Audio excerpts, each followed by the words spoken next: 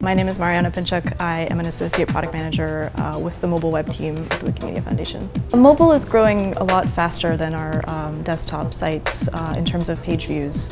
Uh, we're getting millions and millions of new readers coming in every day. Um, a lot of them are coming in from places that are just coming online and where mobile is the primary source of uh, internet connectivity. So places like Brazil and India where people use mobile devices to access the internet. Uh, and so all these people are sort of coming online just now and all of them are flooding to Wikipedia and we are seeing tons and tons of new traffic. Um, we're also really excited about potentially using that time and space that people have on mobile to uh, start kind of nudging them towards contributing as well. So um, that's a big part of what we do here. Uh, if you take a look at some of the third-party Wikipedia apps, they're all kind of geared towards really nice reading experiences. Uh, what we're primarily focused on is uh, making sure that people understand this is a, a, living site. Everything that you see is being created uh, basically in front of you by other human beings and you too can participate in this process if you so desire. We're a, a community that sort of prizes and cherishes volunteers uh, and we're we release all of our content under a Creative Commons license. Um, so we kind of encourage third-party developers to do whatever we, they want with our content. Um, and we're pretty small, so we don't uh, really have the infrastructure and resources to interface in a great deal with these people. Um, we do have a small team that's primarily focused on kind of talking to outside developers, uh, trying to get more developers into our volunteer development community.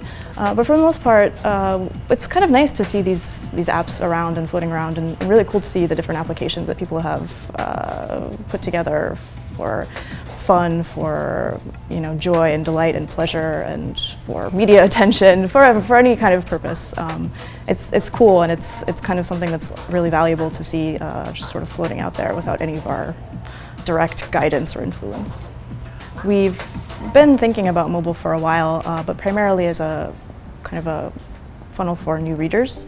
So um, we've had pro programs around um, like Wikipedia Zero, which is the, the sort of free Wikipedia uh, service to people who uh, may not want to pay a lot of money for a fancy data plan, uh, but they still want to read our content.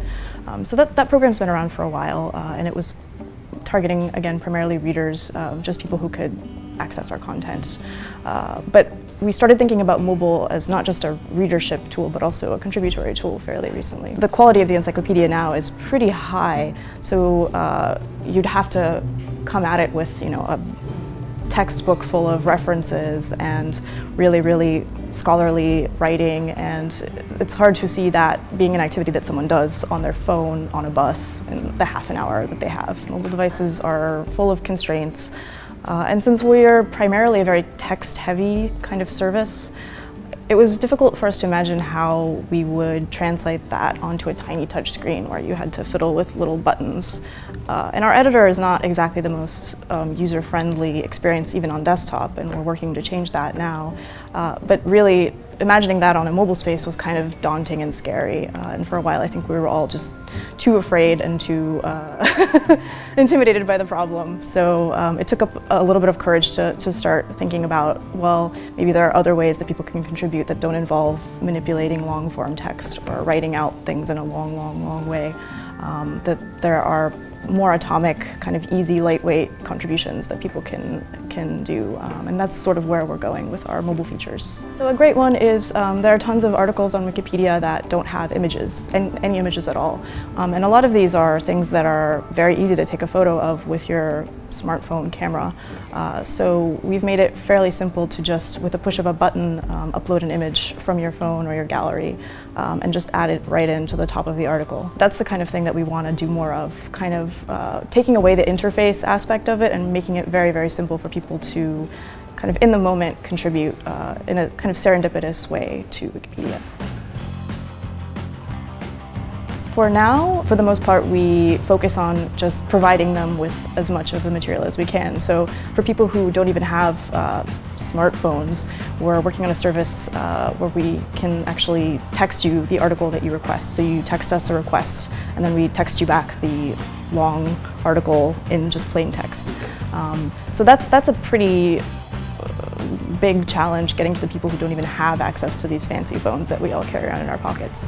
Um, but Obviously, when you think of actually manipulating the text, you would need a device that is capable of doing that. Um, and for those users, we definitely want to have a, sort of a balance. So we don't want to get in the way of people's reading experience. We don't want to flash a bunch of notices and messages and clutter up the interface with a bunch of buttons that tell them to edit. Um, but we do want to make that available to them if they choose. We're actually uh, pretty ideologically committed to an open internet. Um, so while we do have uh, an apps team that focuses on native apps, we really are betting our money on the mobile web um, to allow more people to access our sites uh, and to allow more of those casual readers who may be just following a link in Google or somewhere else uh, to an article to actually see some of those contributory features and use them. So right now uh, our contributory features are sort of crudely um, available via a login that you have to go through. Um, but in the future, I think we definitely want to play around with more sort of progressive disclosure, showing people little bits and teasers and hooks, and then convincing them that it's a really great idea to register an account with Wikipedia, which is free.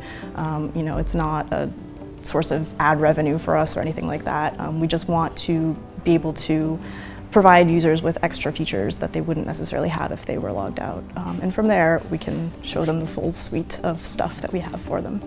If you log in or create an account, both of which you can do on mobile, you will have access to um, an upload feature. If you're on an article that has no images, you'll see a button that asks you to add an image to this article. Um, you can also just generically donate an image to Wikipedia. Um, so our site is a little weird. We have our own separate repository of free media called Wikimedia Commons. Um, and from that pool of media, all of the wiki projects, so not just English Wikipedia, but all of the different language Wikipedias and some of our sister projects like Wiktionary and Wikiversity, um, they all draw those images and use them in their content. So if you donate an image, um, it might go to some article on Vietnamese Wikipedia or on Italian Wikivoyage, um, and, and you can contribute in that way. Uh, and we also actually have a beta site, um, so if you go to the settings of uh, the regular mobile site, you will find a little beta opt-in, and from there you can access the editing feature that we're working on currently. Uh, it's super, super unpolished and rough, um, but we're just trying to experiment with different ways that we can actually um, manipulate text on a tiny little screen. The editing feature we're going to start focusing on pretty heavily in the next couple of months um, since we've kind of built out the uploads feature. Um, and we're going to play around with um, some different minimum viable products um, but we're hoping, uh, since our desktop features team is working on the visual editor, which is really exciting, um, you know, a full WYSIWYG editor, we're hoping to integrate with that whenever they kind of release to desktop. So we're not just sort of focused on building out a really good mobile website. We also want to start making Wikipedia more mobile friendly, the desktop version of the site. So there have been some ideas floated around and a little bit of uh, kind of experimental research time uh, invested in creating a Wikipedia skin that's a little friendlier for smaller devices and is actually responsive and scales down well. So uh, we're, we're, we're, definitely trying to approach it from all angles. Like we want our readers to have a, the best experience they can, um, and we want, but we also want to, you know, have editors who can do things um, either on desktop or on mobile, wherever they're more comfortable. We have 100,000 people around the world making all this content, contributing it, um, making sure that it's accurate and up to date and not riddled with vandalism from Stephen Colbert. And, you know, um, that's how it works. That's how it stays great. And in order for it to keep being great, we need more people to help out.